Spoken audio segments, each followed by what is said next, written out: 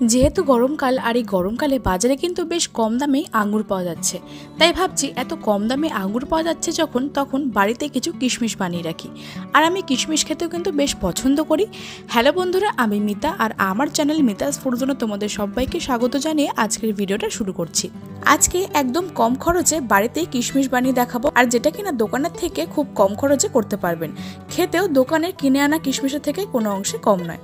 তো আসুন দেখে নিই বাড়িতে কীভাবে খুব সহজে কিশমিশ বানিয়ে নেওয়া যায়। কিশমিশ বানানোর জন্য আমি এখানে একটা প্লেটে নিয়ে নিয়েছি পাঁচশো গ্রাম আঙুর, আর আঙুরটা কিন্তু মিষ্টি হতে হবে, সেরকম দেখে কিনতে হবে। টক আঙ্গুর নিলে কিন্তু কিশমিশটা খেতে ভালো লাগবে না।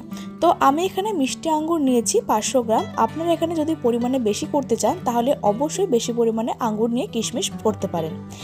এবার এই আঙুরগুলোকে আমরা ছাড়িয়ে একটা পাত্রের মধ্যে নিয়ে নিচ্ছি।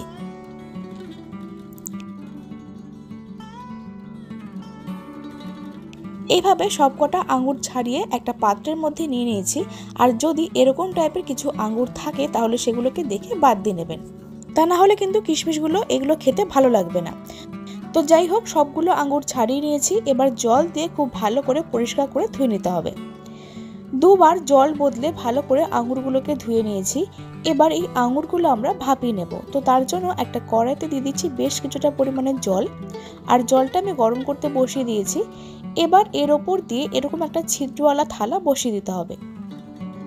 তবে জলটা এতটা বেশি পরিমাণে দেবেন না, যাতে করে থালার নিচে জলটা লেগে থাকে। দেখুন, এর ওপর দিয়ে এরকম একটা ছিদ্রওয়ালা থালা বসিয়ে দিতে হবে। আপনারা এখানে এরকম যে কোনো ছিদ্রওয়ালা পাত্র নিতে পারেন, খালি নিচের ভাবটা ওঠা নিয়ে কথা। তারপর এর ওপর দিয়ে একটা ঢাকা চাপা দিয়ে দিচ্ছি, যাতে তাড়াতাড়ি করে ভাবটা বেরোতে শুরু করে। তো পাঁচ মিনিট পর জলটা কিন্তু ভালো মতো ফুটতে শুরু করে দিয়েছে আর ভাবটাও বেরোতে শুরু করে দিয়েছে। এই সময় ওই ধুয়ে রাখা আঙুরগুলো এভাবে দিয়ে ছড়িয়ে দিচ্ছি। খুব বেশি যেহেতু আঙ্গুর নয়, তাই আমি একেবারে সবকটা দিয়ে দিলাম। আর যদি অনেক পরিমাণে আঙ্গুর নেন, তাহলে দুবারে এরকম অল্প অল্প করে দিয়ে ভাপিয়ে নেবেন। তো দেখুন, সবগুলো আঙুর দিয়ে আমি ছড়িয়ে দিলাম। এবার ঢাকা চাপা দিয়ে মিডিয়াম ফ্লেমে পাঁচ মিনিট মতো এটাকে ভাপিয়ে নেব। বেশিক্ষণ না, জাস্ট পাঁচ মিনিট। পাঁচ মিনিট পর দেখুন আঙুরগুলোর কালার কিন্তু একেবারে চেঞ্জ হয়ে গেছে। একটু উল্টে পাল্টে দিচ্ছি। আর দেখুন সবগুলো আঙুর কিন্তু বেশ একই রকমভাবে কালার চলে এসছে আর ভালো মতো ভাপানো হয়ে গেছে। ঠিক এই অবস্থা ভাপাতে হবে। দেখুন বাইরেটা কিন্তু একই রকম শক্ত আছে। এই অবস্থায় আঙুরগুলোকে ভাপিয়ে নিয়েছি। এবার গ্যাসটা অফ করে আঙুরগুলো একটা পাত্রে নামিয়ে নেব। আঙুরগুলো নামিয়ে নেবার পর ছাদে এরকম একটা সুতির কাপড় বিছিয়ে দিয়েছি। তারপর একটা একটা করে আঙুরগুলোকে এরকম করে কাপড়ের ওপর বিছিয়ে দিচ্ছি আর একটা একটা করে দিতে হবে যাতে একটার সাথে একটা না লাগে।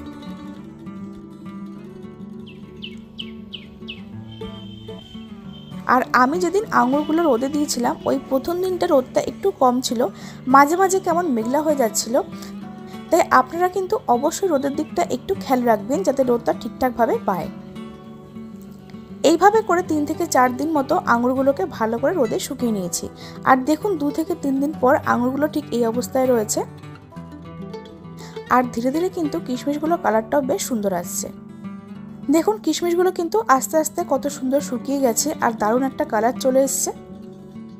চার দিন মতো কিশমিশগুলোকে আমি রোদে শুকিয়ে নিয়েছি আর প্রত্যেক দিন দু থেকে তিন ঘণ্টা করে রোদে শুকোতে দিয়েছি।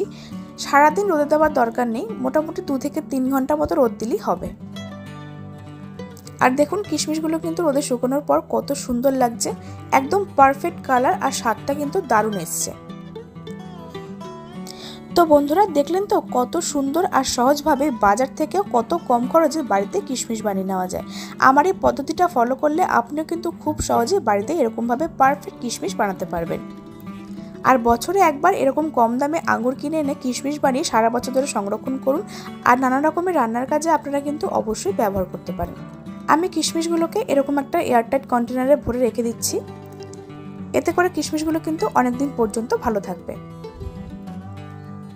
তো বন্ধুরা, আমার আজকের রেসিপিটা আপনাদের কাছে কেমন লাগল আমাকে কিন্তু অবশ্যই কমেন্ট করে জানাবেন। ভালো লাগলে লাইক করবেন শেয়ার করবেন, আর এরকমই দারুণ সব ইন্টারেস্টিং ভিডিওর আপডেট সবার আগে পাওয়ার জন্য আমার চ্যানেলটাকে সাবস্ক্রাইব করতে কিন্তু একেবারেই ভুলবেন না। তো বন্ধুরা, আজকের মতো আমি এখানেই বিদায় নিচ্ছি। ফিরে আসব এরকম একটা নতুন ভিডিওর সঙ্গে। ততক্ষণ সবাই খুব ভালো থাকবেন। ধন্যবাদ।